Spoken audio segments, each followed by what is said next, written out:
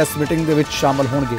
ਪੰਜਾਬ ਦੇ ਵਿੱਚ ਹੜ੍ਹ ਨੂੰ ਲੈ ਕੇ ਜੋ ਹਾਲਾਤ ਬਣੇ ਹੋਏ ਨੇ, ਉਸ ਦੀ ਸਮੀਖਿਆ, ਉਸ ਤੇ ਚਰਚਾ ਮੁੱਖ ਮੰਤਰੀ ਕਰਨਗੇ। ਦਿੱਲੀ ਤੋਂ ਵੀਡੀਓ ਕਾਨਫਰੰਸਿੰਗ ਦੇ ਰਾਹੀਂ ਮੁੱਖ ਮੰਤਰੀ ਕੈਪਟਨ ਅਮਰਿੰਦਰ ਸਿੰਘ ਜੁੜਨਗੇ।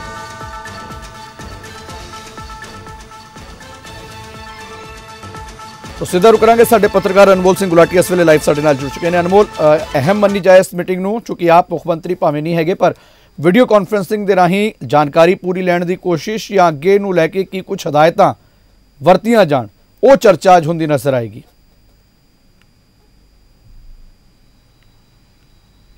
ਜੀ ਨਵਨੀਤ, ਬਿਲਕੁਲ ਇਸ ਮੀਟਿੰਗ ਨੂੰ ਕਾਫੀ ਅਹਿਮ ਮੰਨਿਆ ਜਾ ਸਕਦਾ ਹੈ ਕਿਉਂਕਿ ਜਿਹੜੇ ਕਿ ਪਹਿਲਾਂ ਇੱਕ ਅਲਰਟ ਜਾਰੀ ਕੀਤਾ ਗਿਆ ਸੀਗਾ, ਉਸ ਤੋਂ ਬਾਅਦ ਪੰਜਾਬ ਨੂੰ ਇਸ ਹੜ੍ਹ ਦਾ ਸਾਹਮਣਾ ਕਰਨਾ ਪਿਆ ਤੇ ਉਸ ਤੋਂ ਬਾਅਦ ਜਿਹੜੀ ਕਿ ਕੰਡੀਸ਼ਨ ਹੈ ਕਾਫੀ ਕ੍ਰੂਸ਼ਲ ਹੈ। ਹਾਲਾਂਕਿ ਹਾਲਾਂਕਿ ਜਿਹੜਾ ਕਿ ਪਾਣੀ ਹੈ ਉਹ ਕੁਝ ਇਲਾਕਿਆਂ ਤੋਂ ਉਤਰ ਚੁੱਕਿਆ ਹੈ। ਪਾਣੀ ਪਹਿਲਾਂ ਜਿਹੜਾ 2 ਦਿਨ ਦੀ ਜਿਹੜੀ ਹੜ੍ਹ ਦੀ ਮਾਰ ਸੀਗੀ, ਉਹ ਥੋੜੀ ਥੋੜੀ ਘਟਦੀ ਨਜ਼ਰ ਆ ਰਹੀ ਹੈ। ਲੇਕਿਨ ਨੁਕਸਾਨ ਕਾਫੀ ਨਜ਼ਰ ਆਇਆ ਪੰਜਾਬ 'ਚ। ਭਾਵੇਂ ਗੱਲ ਕੀਤੀ ਜਾਏ ਕਿਸਾਨ ਦੀ, ਭਾਵੇਂ ਗੱਲ ਕੀਤੀ ਜਾਏ ਨਾਰਮਲ ਹਾਊਸਹੋਲਡ ਦੀ।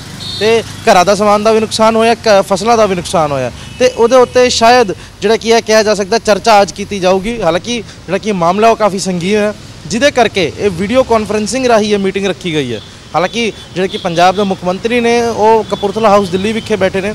ਲੇਕਿਨ ਜਿਹੜੇ ਕਿ ਜਿਵੇਂ ਕਿ ਮੰਨਿਆ ਜਾ ਰਿਹਾ ਕਿ ਜਿਹੜਾ ਕਿ ਮਾਹੌਲ ਹੈ ਉਹ ਕਾਫੀ ਸੰਜੀਦਾ ਹੈ ਜਿਹਦੇ ਕਰਕੇ ਇਹ ਮੀਟਿੰਗ ਚਾਹਾਂਗਾ ਮਾਹੌਲ ਸੰਜੀਦਾ ਜਿਹੜੀ ਤੁਸੀਂ ਕਹਿ ਰਹੇ ਹੋ ਠੀਕ ਹੈ ਮੁੱਖ ਮੰਤਰੀ ਆਪ ਦਿੱਲੀ ਨਾਲ ਦਿੱਲੀ ਤੋਂ ਕਾਨਫਰੰਸਿੰਗ ਰਾਹੀਂ ਜੁੜ ਕੇ ਇਸ ਮੀਟਿੰਗ ਨੂੰ ਅਟੈਂਡ ਕਰਨਗੇ ਹਦਾਇਤਾਂ ਵੀ ਹੋਣਗੀਆਂ ਅੱਗੇ ਕਿਉਂ ਕੁਝ ਕੀਤਾ ਜਾਏ ਉਹ ਵੀ ਹੋਏਗਾ।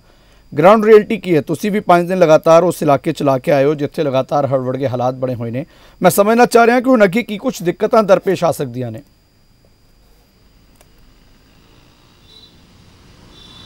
ਜੀ ਬਿਲਕੁਲ, ਨਵਨੀਤ, ਜਿਵੇਂ ਕਿ ਲਿਵਿੰਗ ਇੰਡੀਆ ਨਿਊਜ਼ ਤੇ ਅਸੀਂ ਲਗਾਤਾਰ ਆਪਣੇ ਦਰਸ਼ਕਾਂ ਨੂੰ ਇਹ ਦਿਖਾਉਂਦੇ ਰਹੇ ਹਾਂ ਕਿ ਹਾਲਾਤ ਕੀ ਕੁਝ ਚੱਲ ਰਹੇ ਨੇ। ਜਿਹੜਾ ਕਿ ਪਾਣੀ ਸੀਗਾ, ਜਦੋਂ ਇਹ ਹੜ੍ਹ ਦੀ ਪੂਰੀ ਸਿਚੁਏਸ਼ਨ ਸਾਹਮਣੇ ਆਈ, ਉਸ ਵਕਤ ਪਾਣੀ ਬਹੁਤ ਜ਼ਿਆਦਾ ਸੀਗਾ। ਲੋਕਾਂ ਦਾ ਸਮਾਨ ਰੁਲ ਗਿਆ, ਲੋਕਾਂ ਦੀ ਫਸਲਾਂ ਖਰਾਬ ਹੋ ਗਈਆਂ। ਤੇ ਹੁਣ ਜਦੋਂ ਗੱਲ ਕਰੀਏ, ਜਦੋਂ ਪਾਣੀ ਉਤਰ ਚੁੱਕੇ ਉਸ ਤੋਂ ਬਾਅਦ ਵੀ ਨਾਰਮਲ ਪੇਸ ਤੇ, ਜਿਵੇਂ ਕਿ ਕਿਹਾ ਜਾ ਸਕਦਾ ਹੈ, ਜਦੋਂ ਲਾਈਫ ਦੀ ਨਾਰਮਲ ਪੇਸ ਆਣ ਆਉਣ ਲਈ ਵੀ ਘੱਟੋ ਘੱਟ 20 ਦਿਨ ਦਾ ਸਮਾਂ ਚਾਹੀਦਾ। ਕਿਉਂਕਿ ਸਕੂਲਾਂ 'ਚ ਜੇ ਗੱਲ ਕਰੀਏ, ਜਿੱਥੇ ਬੱਚੇ ਆਪਣੀ ਸਿੱਖਿਆ ਪ੍ਰਾਪਤ ਕਰਨ ਜਾਂਦੇ ਨੇ, ਉੱਥੇ ਪੂਰਾ ਸਕੂਲ ਜਿਹੜੇ ਕਿ ਨੇ ਪੂਰੇ ਕੇ ਪੂਰੇ ਤਬਾਹ ਹੋ ਚੁੱਕੇ ਨੇ ਪਲੇਗਰਾਉਂਡਸ ਤਬਾਹ ਹੋ ਚੁੱਕੇ ਨੇ, ਕਿਤਾਬਾਂ ਪੂਰੀ ਖਰਾਬ ਹੋ ਚੁੱਕੀਆਂ ਨੇ ਤੇ ਸਕੂਲ ਦੇ ਫਰਨੀਚਰ ਦੀ ਗੱਲ ਕਰੀਏ, ਉਹ ਸਭ ਖਰਾਬ ਹੋ ਚੁੱਕਿਆ। ਨਾਲ ਦੇ ਨਾਲ ਜਿਵੇਂ ਕਿ ਹੋਰ ਵੀ ਸ਼ੋਰੂਮਸ ਨੇ, ਹੋਰ ਦੁਕਾਨਾਂ ਨੇ, ਘਰਾਂ ਨੇ, ਘਰਾਂ ਦੇ ਵਿੱਚ ਜਿਹੜਾ ਕਿ ਸਮਾਨ ਸੀਗਾ, ਉਹ ਲੋਕਾਂ ਦਾ ਸਾਰਾ ਖਰਾਬ ਹੋ ਚੁੱਕਿਆ। ਤੇ ਨਾਲ ਦੇ ਨਾਲ ਹੁਣ ਜਿਵੇਂ ਕਿ ਪਾਣੀ ਉਤਰ ਰਿਹਾ, ਤੇ ਕਿਤੇ ਨਾ ਕਿਤੇ ਡਿਜ਼ੀਜ਼ਸ ਦਾ ਵੀ ਕਿਹਾ ਜਾ ਸਕਦਾ ਕਿ ਕੁਝ ਨਾ ਕੁਝ ਸਾਹਮਣਾ ਕਰਨਾ ਪਵੇ ਪੰਜਾਬ ਨੂੰ, ਕਿਉਂਕਿ ਪਾਣੀ ਦੇ ਕਰਕੇ ਕਾਫੀ ਡਿਸੀਜ਼ਸ ਹੋ ਸਕਦੇ ਨੇ ਕਾਫੀ ਡਿਸੀਜ਼ ਫੈਲ ਸਕਦੇ ਨੇ। ਹੁਣ ਕੁਝ ਇਲਾਕੇ 'ਚ ਪਾਣੀ ਹਜੇ ਵੀ ਮੌਜੂਦ ਹੈ ਕੁਝ ਇਲਾਕਿਆਂ 'ਚ ਉਤਰ ਚੁੱਕਿਆ ਹੈ। ਹੁਣ ਵੀ ਜਿਹੜੇ ਕੀ ਹੈ ਅ, ਕੀਚੜ ਕਿਹਾ ਜਾ ਸਕਦਾ ਹੈ ਜਾਂ ਕਿਹਾ ਜਾ ਸਕਦਾ ਦਲਦਲ ਪੂਰਾ ਪੰਜਾਬ ਦੇ ਕੁਝ ਏਰੀਆ ਨੇ ਜਿਹੜੇ ਦਲਦਲ 'ਚ ਤਬਦੀਲ ਹੋ ਚੁੱਕੇ ਨੇ।